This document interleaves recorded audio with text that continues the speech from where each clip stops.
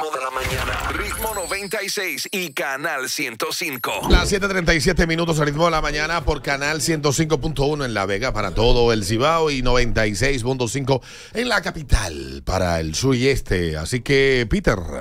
Mira, este.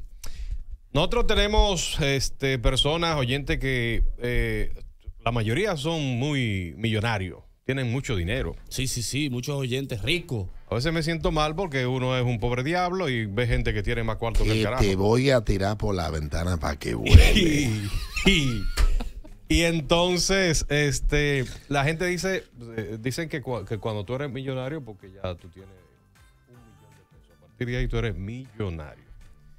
Bueno, entonces, hablemos entonces con los millonarios del ritmo de la mañana y que nos cuenten a qué edad tuviste tu primer millón de pesos y qué hiciste con él.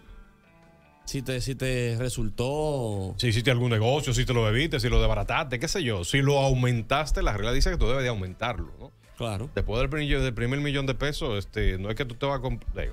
Mucha gente lo hace, eso es lo que hace, como un carro, una cosa, una vaina. Pero hay gente inteligente que lo que hace es que lo invierte y ya, por ejemplo, si, lo- si tú te, te- te topaste con tu primer millón a los 30 y ya tú tienes 50, tú debes de tener mínimo 10 o 15 millones de pesos ya. Y tú sabes que mucha gente se bebe el primer millón celebrando que consiguió un millón. También. Entonces, cuéntanos a qué edad tuviste, te encontraste, te topaste con tu primer millón de pesos y qué hiciste con él. Buenos días. Buen día, chicos. Buenos días. Dime a ver, Alberto, ¿qué es lo que? Dale, papá. Eh, a los 26 años. ¿Cómo va? Eh, tú sabes, lo dejé y me dio en la madre, Alberto lo sabe. Sí, no, se lo tuvo que pagar la DGI. Ya. No. Todo. 53190. Bueno, lo bueno es que eso, 96, eso- 50. eso te lo devolvió el gobierno. para- Volvió. Buen- buenos días. Buen día, buen día. Dale, buenos días. Pues yo a los 26, ya para 27, conseguí 600 y pico. Lo invertí y ya va casi por dos melones. ¿Y qué edad tiene ahora? 31. 31. ¿Qué, qué se hace? Tiene dos, pero mucho, duró. Duró mucho. No es lo mismo conseguir Sí, tu primer millón que juntar tu primer millón. No, lo mismo no. Porque hay mucha gente que produce más de un millón, Eh, pero no lo ve. pero no lo ve. Una cosa es tú juntarlo ahí. Tener un millón ahí junto. están ahí. No, pero juntarlo significa. Yo le voy a que preguntar. a Tú sabes que yo lo que tengo es amigos que no le puedo preguntar que cuándo fue que juntó su primer millón.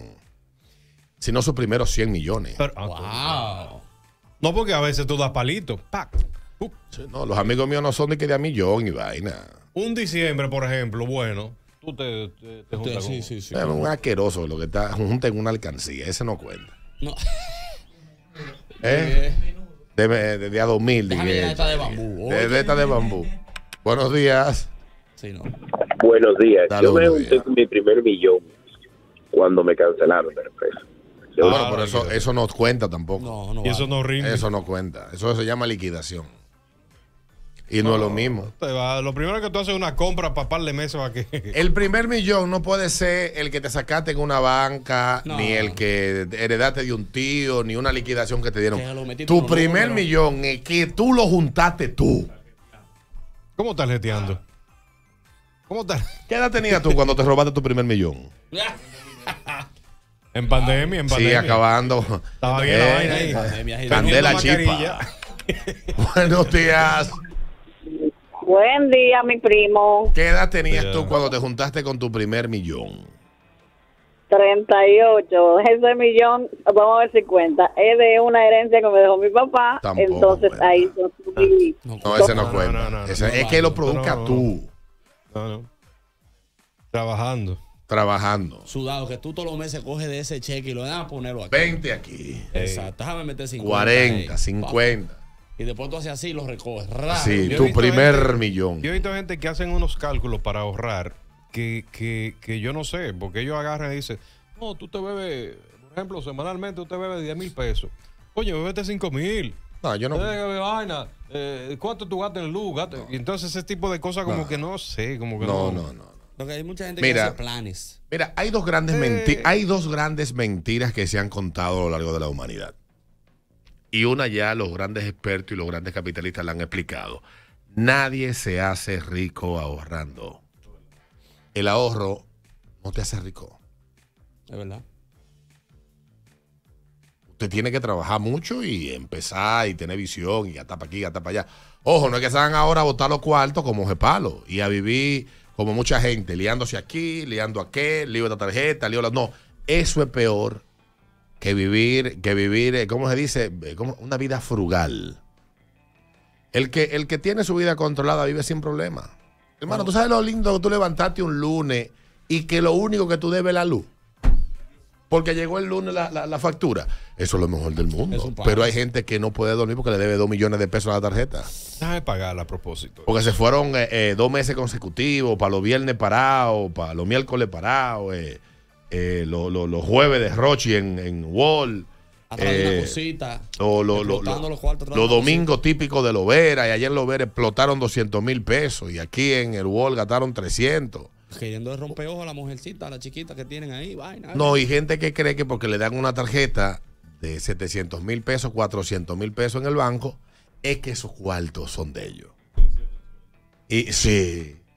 Y el banco loco porque tú te líes. Están esa, esa, esa, esas oficinas de factoring esperando que tú te líes para quitarte el carro, la casa, eh, dejarte en la calle, etcétera. Un lunes, un saludo buena.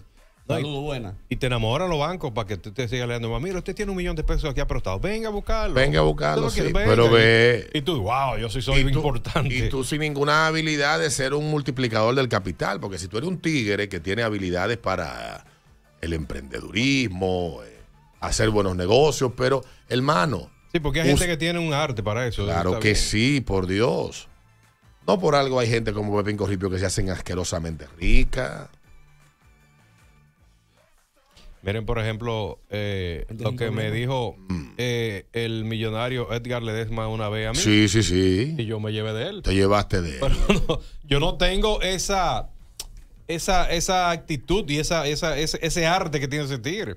A los 24 años, dice por aquí un amigo que se juntó con su primer millón. Buenos días. No, pero te marcaba con artista. era. Joven. Ah, no, no. Manager, Buen manager. día. Buenos días. A los 27 hice mi primer millón. ¿Qué hiciste? Hice una casita en un solar que ya tenía. Una casa grande ya. ¿Mm? Y entonces la vendiste. No, no, no. Está alquilada ahora mismo. Pues no te juntaste con tu primer Le, millón. le está produciendo. Una oportunidad. No, que no, él invirtió, está produciendo. Lo invirtió. yo- La tiene alquilar. Tiene alquilar. 5 mil mensual. 9.605 me lleva la. Entonces tú sacas el cálculo. 50 al año. No, ella va a durar. 50 al año.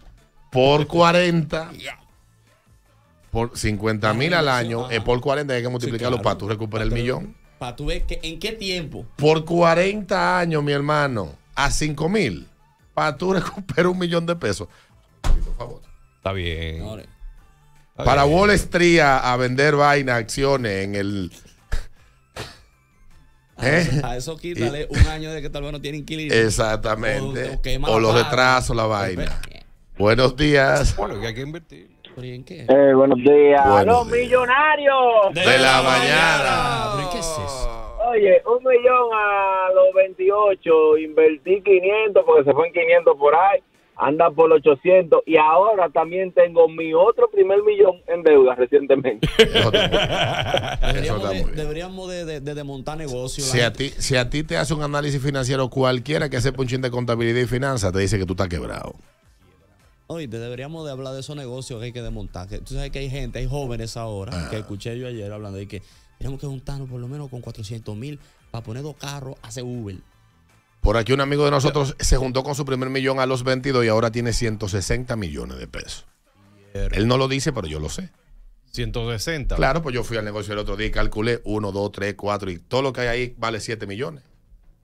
De 80 mil para arriba. 1, 2, 3, 4, 5, Ah, en 6, 7, inversión 8. tiene 160, no Eh, líquido, no una eh, cuenta sí, de banco ahí. eh, 4, 5. Por allí cal- calculé otra vaina, más allí, más por acá, 160 millones. A mí no me gusta contar cuarto ajeno, eso no es mi problema, A ni vivo pendiente de eso. Pero estos, estos amigos de uno que le quieren siempre a uno, yo estoy mal, a mí me está llevando el diablo. Por eso que son ricos. Eh, por eso que son Por eso ricos. que son ricos. No, pero lo que pasa hay que ver. Si, si- Tengo que pagar la tarjeta. Y la moñota ahí. Y sí, sí, sí. Y Buchú, y tú le revisas la cuenta, coño, rajándose. Pero- Y, y metiéndose el lío, Iván. Y lío y vaina. ¿qué Y yo, pero este hombre del diablo, no te dique, no te dique en mala. Ese es el problema. Si tú tienes 160 millones, tus deudas deben ser altas también. A- a- digo, a mis amigos yo no le ando contando ni me interesa lo que tienen. Pero, Pero, ya que somos amigos y están. ya yo no está aquí, llevando vida. Vamos a llevarla bien. Sí. Buenos días. Los contables. De la mañana. ¿Qué edad tenías cuando te juntaste con tu primer millón?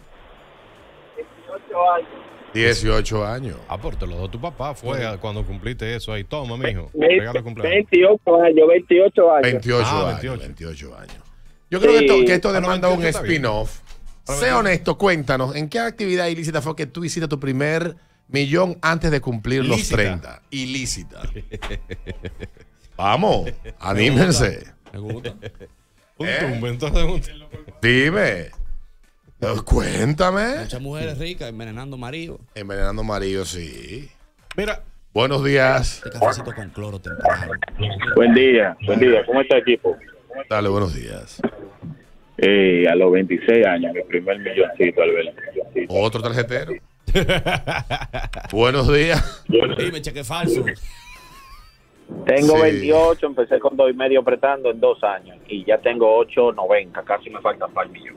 Diablo, apretando. Sí, yo una vez hermano. tenía en mente, incluso fui, estaba así, mira, así tuve. Pregunta De- por aquí el señor C que si dos, eh, si los papeles de propiedad de dos terrenos en el Cristo Redentor cuentan como activos. No, eso no. Por eso es bueno tener amigos. A, a la gente dice que uno no debe hablar sus planes porque se le desbaratan. A mí, de me, a mí me gusta hablarlo. Me gusta recoger opiniones y que la gente dice ese tipo de cosas. Me gusta. ¿Te gusta el no te meta ahí? Mira, yo una vez tenía eh, en mente hacer inversiones fuera si del usted país. no va a participar de la aventura, yo no tengo que consultarle nada a nadie. Fuera del país. Y yo lo dije, pam, pam, pam. Gracias a Dios. que- óyeme, gracias a Dios que lo dije. Porque me decían la gente, por ejemplo, una de la gente me dijeron, coño, pero eh, la vaina costaba como, Claro, esa vaina, esa cuestión, eso no te mete ahí. Bueno, efectivamente. La última, buenos días. ¿Cómo estamos, muchachos? Dale, buenos días. A los 32 años, Alberto. Ahí, jóvenes. Jóvenes, ¿cómo le dice? Promesas. Jóvenes promesas. Jóvenes promesas del país. ¿Qué actividad ilícita hiciste tu primer millón? veas. Con Exactamente. eso que venimos. Tumbando. Son las 7:50 minutos. No se, no se encondan los que hacen vainas ilícitas, que, Lo que venden se roban números de tarjeta. yo conozco uno que se, que, que se juntó con 12 millones. No lo conozco a él, conozco su historia. Ah. Sí, robándose los cuartos de cuentas abandonadas en un importante banco del país. El, el ritmo de la mañana de Ritmo 96. HIMS Santo Domingo. Disponible donde quiera. Descargando nuestra app.